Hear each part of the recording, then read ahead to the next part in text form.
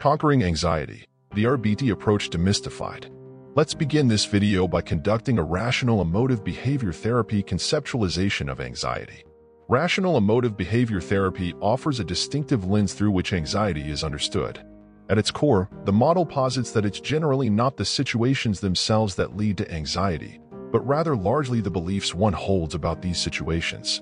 In the context of anxiety, individuals tend to make inferences of threat that attribute personal significance to perceived dangers or stressors.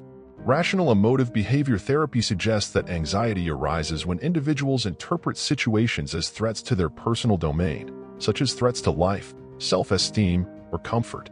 They tend to believe that an event or circumstance poses a significant risk to their well-being, desires, or capabilities or comfort. These threats are often fueled by irrational beliefs. Based on the inference of threat, an individual with anxiety forms specific dysfunctional or irrational beliefs that are largely the cause of the anxiety. Let's consider the four major dysfunctional beliefs that are typically present with anxiety. 1. Demandingness. Individuals often hold rigid beliefs that the perceived threat must not occur, setting excessively high standards for themselves or their environment. 2. Awfulizing. There's a tendency to catastrophize, imagining the worst possible outcomes should the threat materialize, amplifying the perceived negative consequences. 3. Frustration intolerance. The belief that one cannot endure or tolerate experiencing the perceived threat, leading to an overwhelming sense of distress or discomfort. 4. Global negative self-rating. Feeling inadequate or incapable of handling the perceived threat, coupled with a broader negative evaluation of oneself and life circumstances. The conceptualization of anxiety also includes the behavioral patterns associated with anxiety. These dysfunctional beliefs tend to provoke avoidance behaviors. Individuals may engage in avoidance strategies to alleviate their anxiety or prevent the perceived threat from materializing. This could manifest as withdrawal from situations, procrastination, or other behaviors aimed at evading the perceived source of anxiety.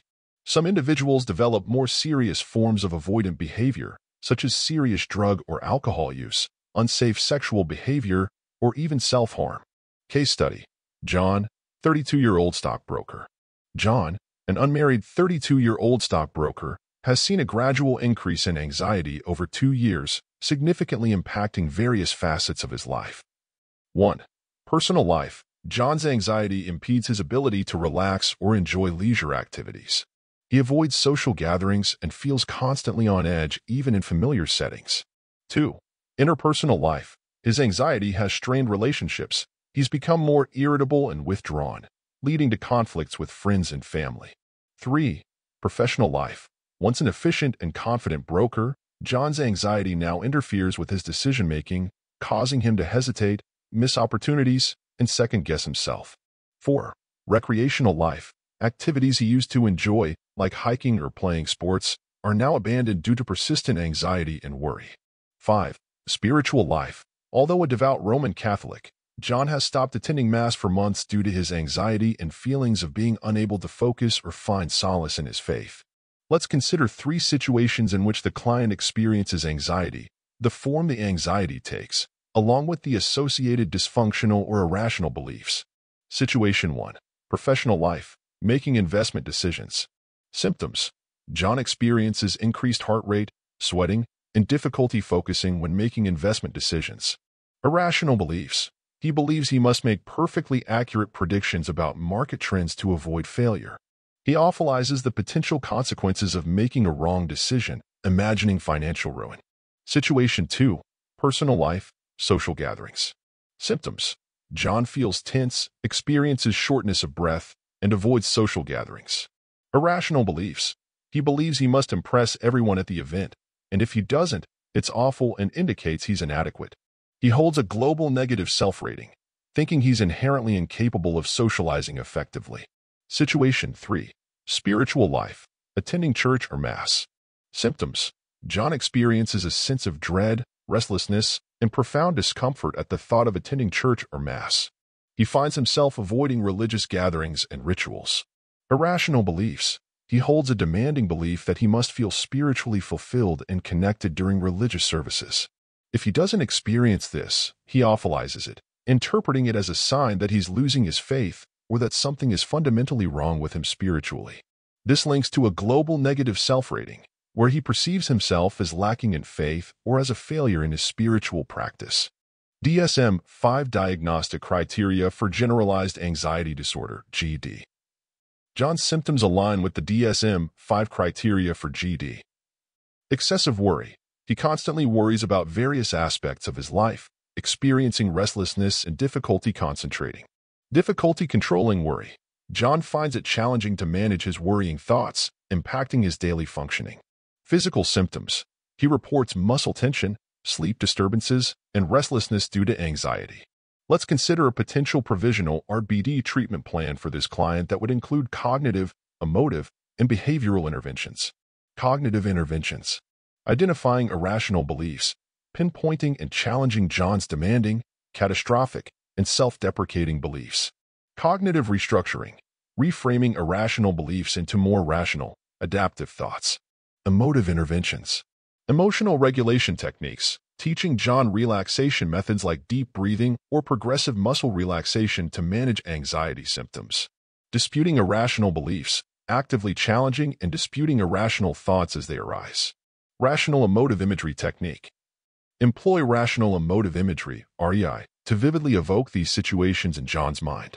During sessions, John could be guided to imagine these scenarios while identifying and challenging the irrational beliefs attached to them. Through visualization, John may be able to confront the emotional impact of his beliefs and work on restructuring them. The imagery could address anxiety about making investment decisions or about attending a social gathering. Behavioral interventions. Exposure therapy, gradual exposure to anxiety-provoking situations to diminish avoidance behaviors.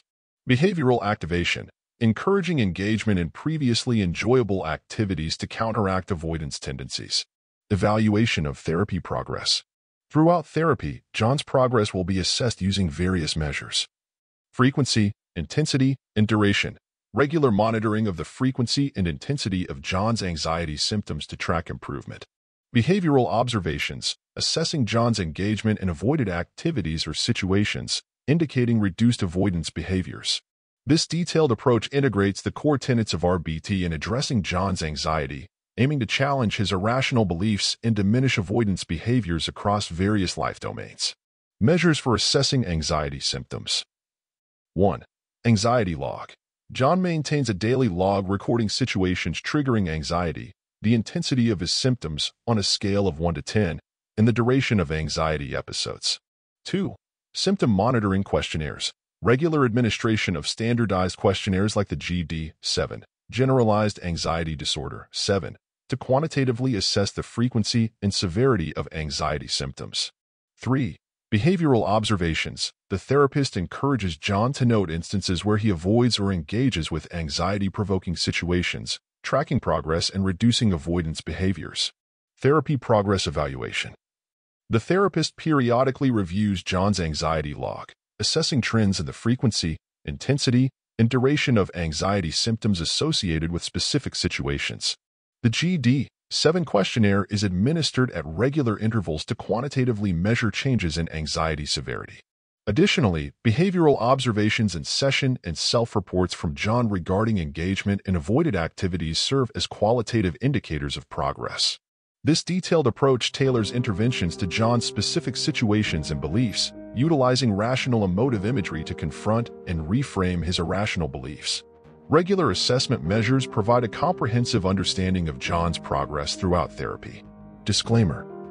This video is intended for educational purposes only. The content provided is not a substitute for professional advice, diagnosis, or treatment. It is not intended to offer medical, legal, or psychological advice. The information shared in this video is for informational purposes and does not constitute a therapeutic relationship. Individuals experiencing anxiety or seeking mental health support are encouraged to consult with a licensed mental health professional or healthcare provider for personalized evaluation and treatment. This video does not offer a therapeutic service, and its content should not be used as a substitute for professional guidance or intervention.